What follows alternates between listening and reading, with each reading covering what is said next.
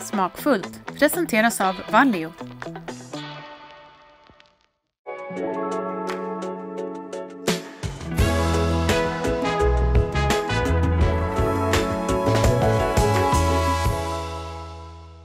Välkomna till Smakfullt.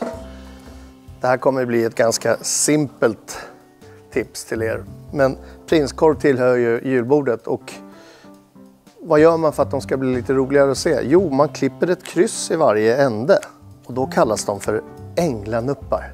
Sen när man steker dem kommer ni se att de skruvar upp sig och blir eh, lite roligare och vackrare.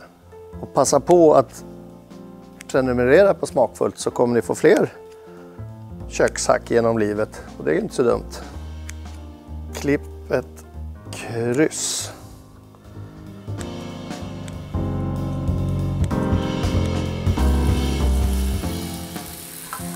Ja, så när man steker dem kommer de att bli, ja förhoppningsvis kommer de att skruva upp så de blir jättevackra för servering och ha framme på julbordet.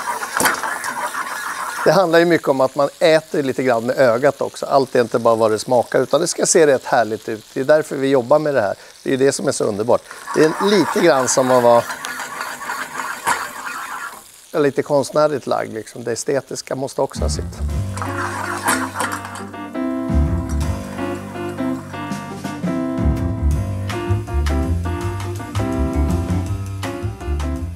Nu har äntligen våra prinskorvar blivit änglanuppar så då tänkte jag att vi ska lägga upp dem här lite snyggt. Och då blir de lite vackrare och ser nästan ut som kungliga prinskorvar.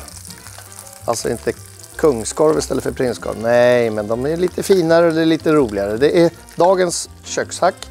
Gör änglanuppar av prinskorv. Sådär, färdigt.